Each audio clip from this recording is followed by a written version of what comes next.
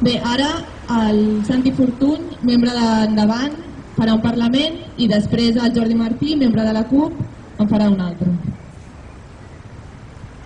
Bona tarda. Uh, poc queda dir després d'aquest manifest que s'ha dit, que ha expressat les idees bàsiques uh, que anava a exposar jo també.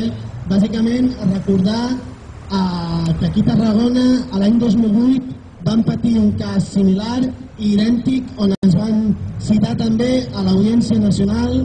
En aquest cas vam anar a declarar aquí a Tarragona per solidaritzar-nos amb les companyes de Girona que als voltants de l'11 de setembre amb una visita del rei Joan Carles van cremar unes fotos del rei. Vam mostrar la nostra solidaritat i ens van també citar l'Audiència Nacional perquè aquí a Tarragona vam emular el mateix acte solidaritzant-nos amb elles i vam cremar una foto del rei Joan Carles. Més endavant al camp, una altra persona que també va mostrar el seu suport amb la persona, en aquest cas era jo, eh, represaliada de Tarragona, també va citar, també va ser citada a l'Audiència Nacional. Per tant, aquí al Camp de Tarragona hi han tingut dos casos idèntics al que ara mateix, avui, any 2016, vuit anys després, ha passat a Barcelona i a Manresa quatre companyes, perquè se sabem que ja la quarta, Roger de Manresa, ha estat detinguda, seran portades a l'Audiència Nacional a declarar perquè s'han negat a anar a declarar quan van ser citades. Per tant, és un delicte de desobediència i les portaran a declarar i demà a les 9 del matí hauran de declarar. Volíem fer tres reflexions ràpides que sortien també molt ben expressades al manifest.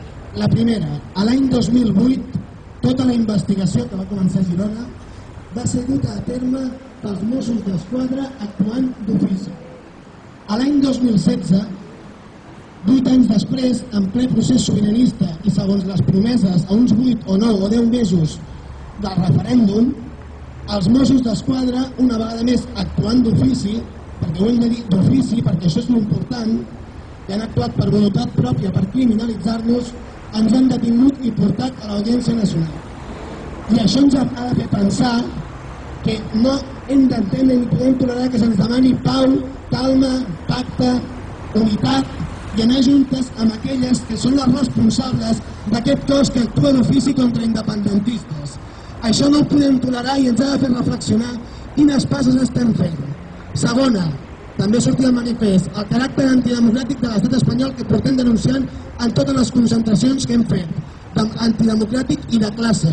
No s'ha jutjat a ningú d'Endesa per la dona morta a Reus, ni s'ha jutjat a cap d'aquests polítics que no paren de sortir o aquests empresaris com l'Omante Ortega que va sortir l'altre dia que és un corrupte declarat.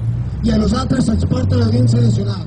I tercera i acabo la desobediència com a única eina per assolir precisament aquesta independència que tant parlen aquests polítics que estan al capdavant d'aquest govern que està al capdavant dels Mossos. O desobeïm totes i tots i exigim o demanem als nostres cossos i als nostres treballadors que ho facin i són pedagògics amb això en la desobediència o no aconseguirem la independència dels països catalans ni cap pas que ens porti cap a aquesta. Sense desobediència no hi ha independència, solidaritat amb les companyes detingudes.